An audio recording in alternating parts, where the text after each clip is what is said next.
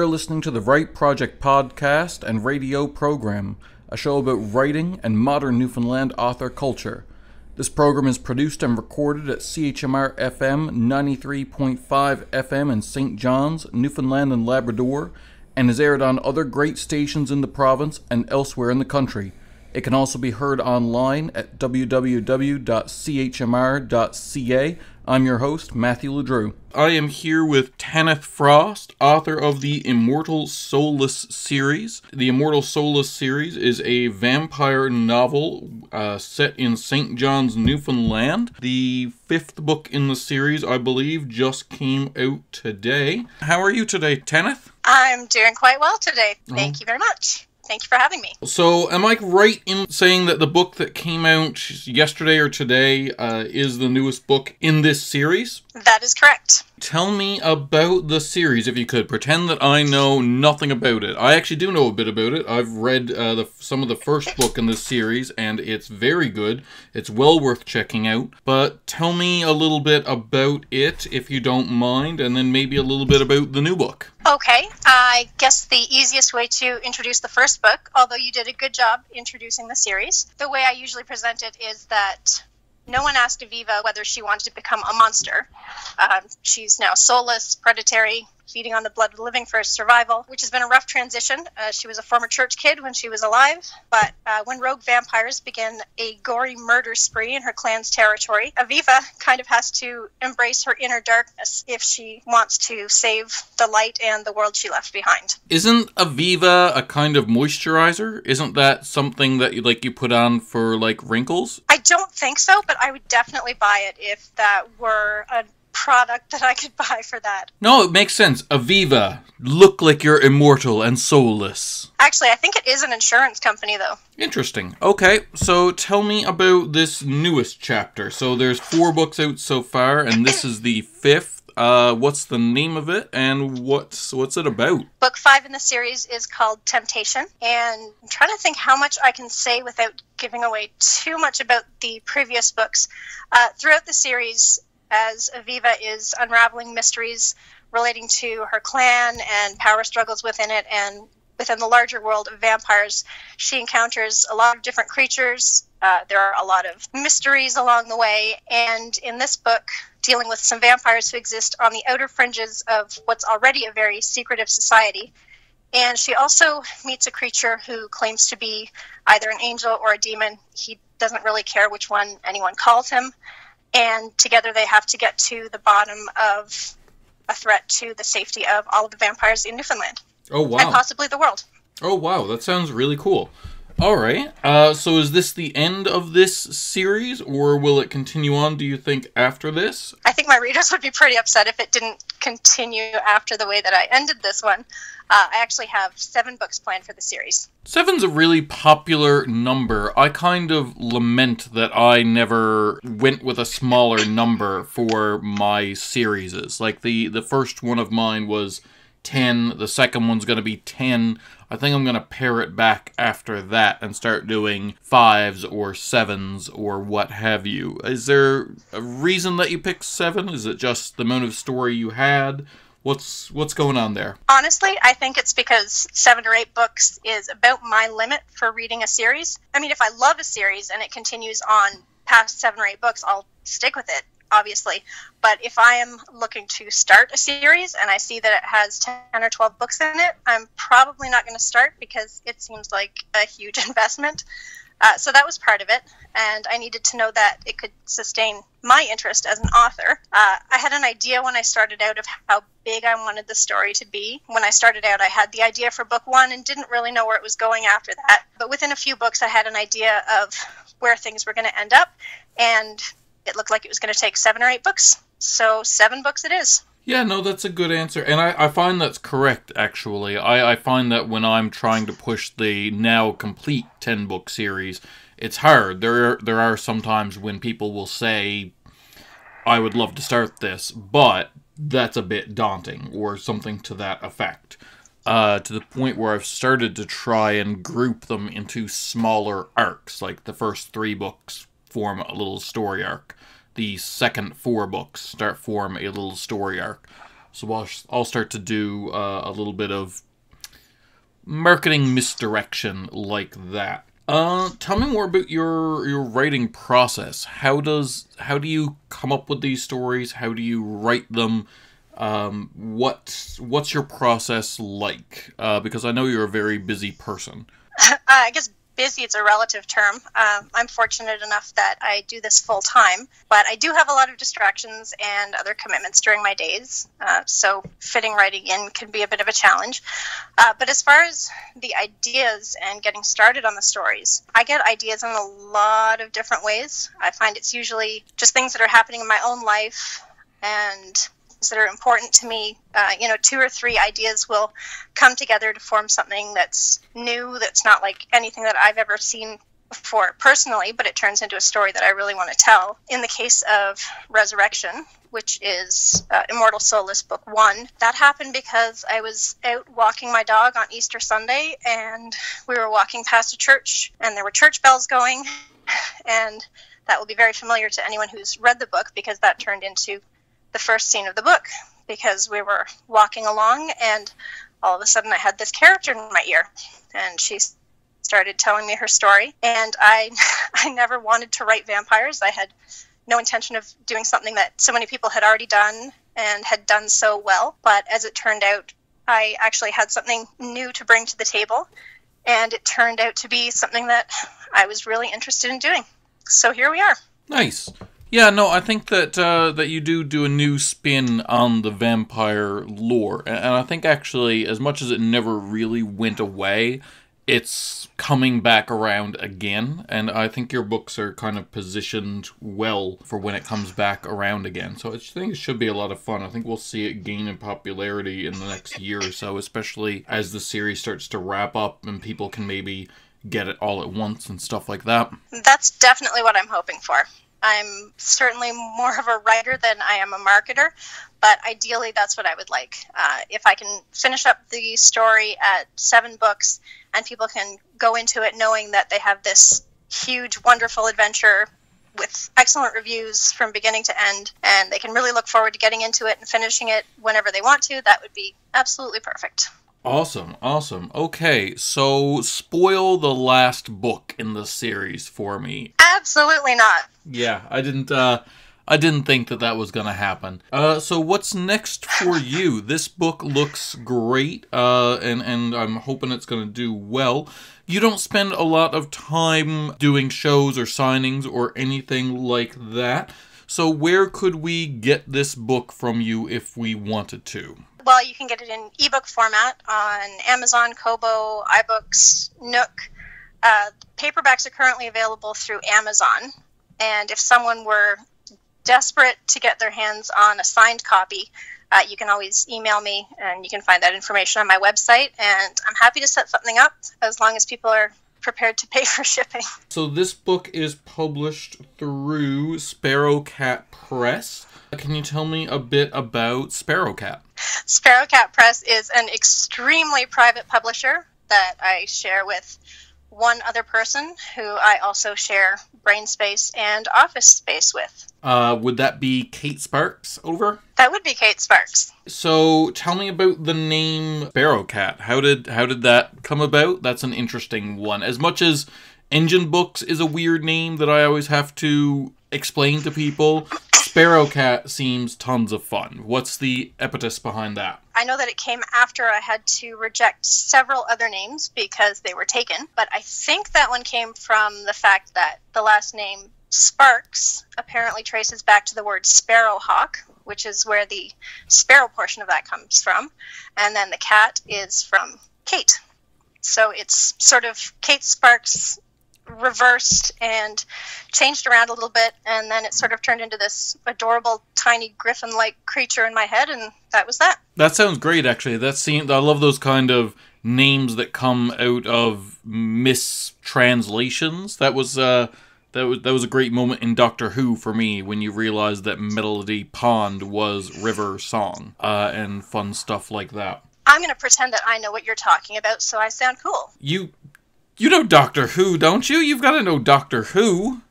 Uh, I live with someone who knows Doctor Who, which means that I have sort of absorbed a lot of Doctor Who by osmosis. So I kind of know who like who River's song is, and I will get a lot of references, but I have not actually sat down and watched Doctor Who. I'm ashamed to say. All right. Well, you do this full time, which means you make your own hours, which means you can take 40 minutes out of every week and watch an episode. You know, just saying. You're owed that break time, and you might as well use it for something wonderful and whimsical and magical. Okay, but then when would I play Assassin's Creed? Preferably never, because you're an intelligent person, and that game's that game. that games. You're clearly an intelligent person yourself. All right. okay. What, if any, literary pilgrimages have you gone on? In other words, have you ever traveled to write or traveled to research for writing? Honestly, the farthest I've actually gone for writing research is the St. John's area. I live in central Newfoundland, so that's about a four hour drive for me, which is not long, but it has been very necessary for the Immortal Soulless series because uh, some of the stories are set in St. John's, some are in the surrounding area, uh, some of it's set closer to the west coast. In the future, I'm really hoping to get in a major epic supernatural battle in Twillingate, if only because then I'll have to actually spend more time in Twillingate to research it. Uh, so that's it for those literary pilgrimages. On the other hand, there are a lot that I would love to make, not just for my own research, but just for the sake of going. I would love to go to Maine and maybe bump into Stephen King, maybe just see places that have inspired him. Uh, but that would be probably at the top of my list for reading related pilgrimages that I would like to make, which are also, of course, writing related. Excellent. Yeah, Maine would be up on my top 10 list too, actually, for sure. Tanith, what is the first book that made you cry? Or the book that you remember because some people can't remember back that far. First one that i can remember making me cry like sobbing ugly cry snot running down my face was where the red fern grows. Because spoiler alert dogs die and i've never handled that well but i think i was in seventh grade when i read it and uh, that was just an especially bad time for those kind of things hitting hard and a lot of things making me cry. So, yeah, that's the first one I remember. That book has been the answer three times now, so you are definitely, definitely not alone there. I'm not surprised. Yeah, no, definitely not.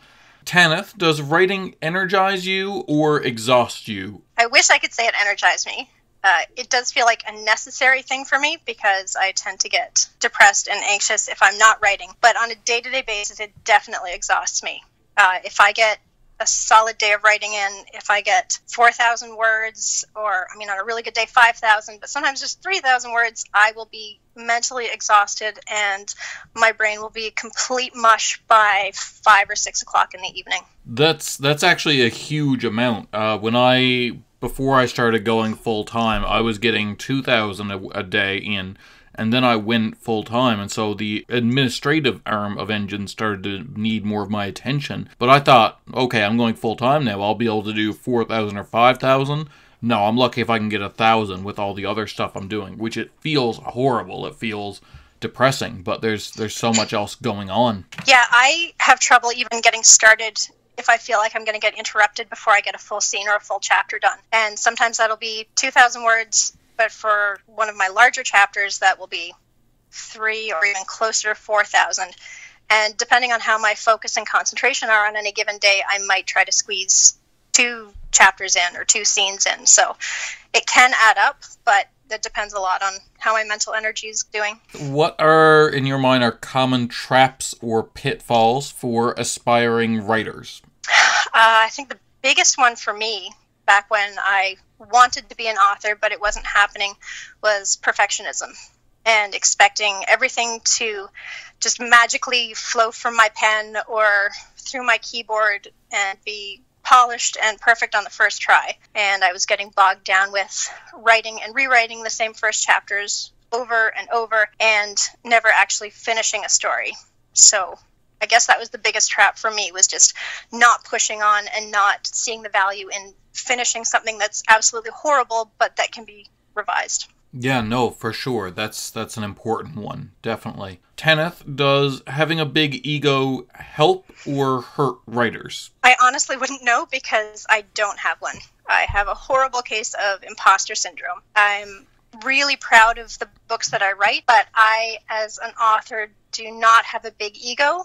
It's not even big enough that I'm comfortable promoting my own work. Honestly, I would say that it probably helps because uh, at least on the on the promotion side of things, I have no idea whether it helps or hurts on the writing side. I can see it being detrimental on that side, but I'm guessing that authors with big egos probably make more money. So, long answer short, I guess it depends on how you define success. That's fair. That's fair. Okay, perfect. Tanith, what is your writing kryptonite? What can just stop a writing session cold dead? Interruptions, or just knowing that I could be interrupted.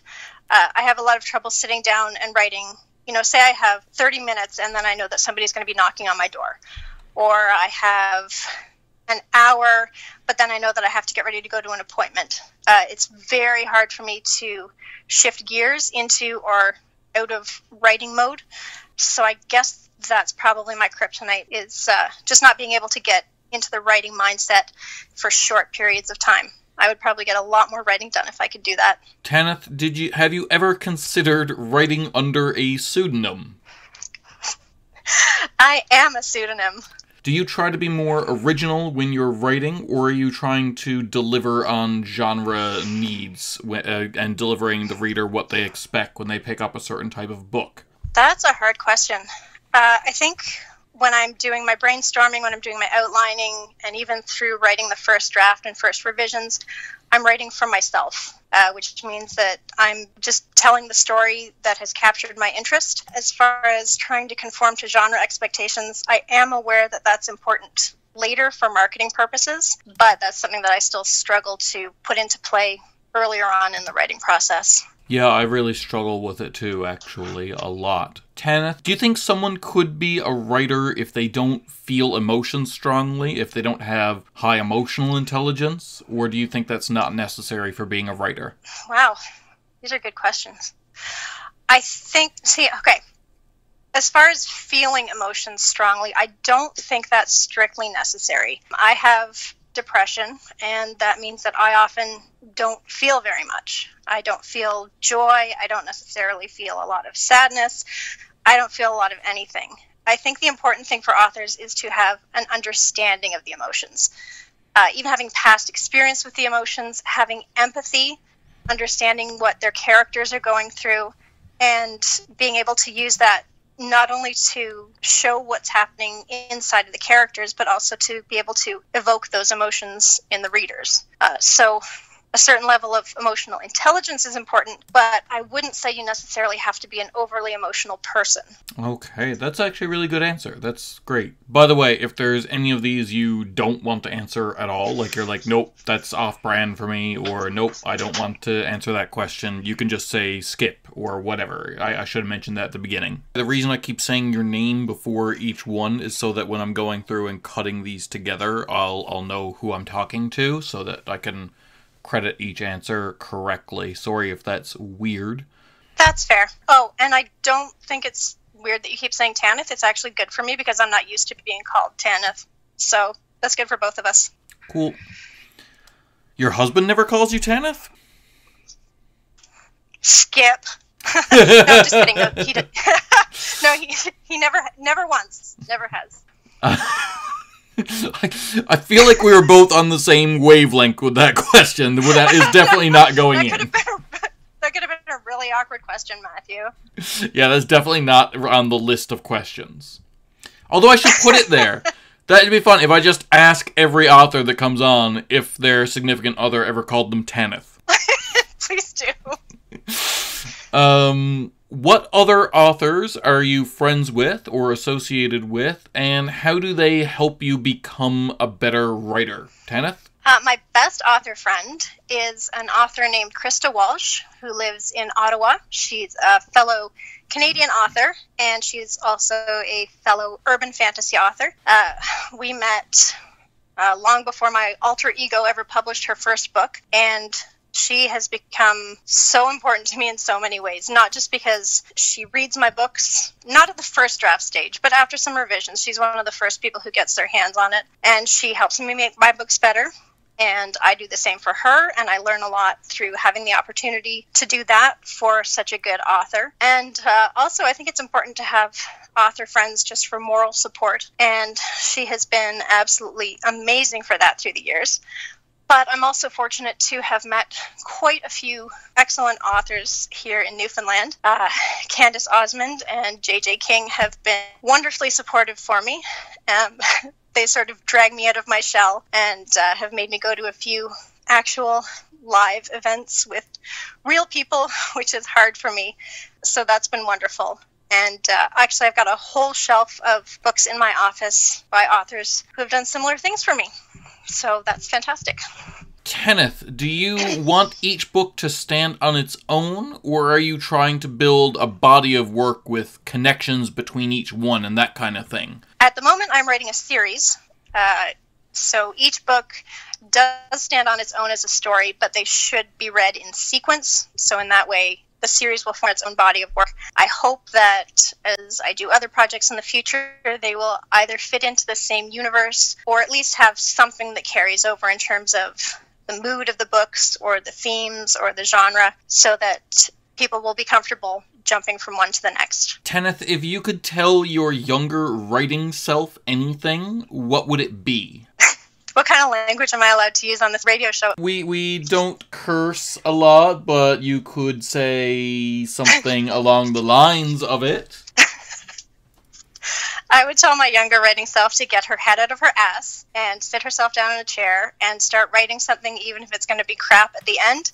Because even if it's horrible, she's going to be way ahead of where she would be otherwise. Yeah, that that's fair. I tell that to people all the time. Actually, I, I find there's this odd defeatist attitude, even if, with people writing essays. Like, they won't hand in an essay unless it's perfect. And I'm like, if you don't hand it in, you'll get a zero literally any mark is better than a zero, but they they won't finish sometimes. Yeah, I mean, I make sure that my books are as close to perfect as they can possibly be before publication. But my problem that my younger writing self had was that she wasn't willing to even write a horrible first draft. I would never encourage her to actually publish something that was horrible, but she didn't understand that the horrible draft was the first step to moving toward that imperfect but far far better finished draft. Yeah, I wonder if it would help if it was possible if uh, if you could get a collection of authors like good authors like King or George R. R. Martin to actually publish their first drafts like as a special edition like the first draft edition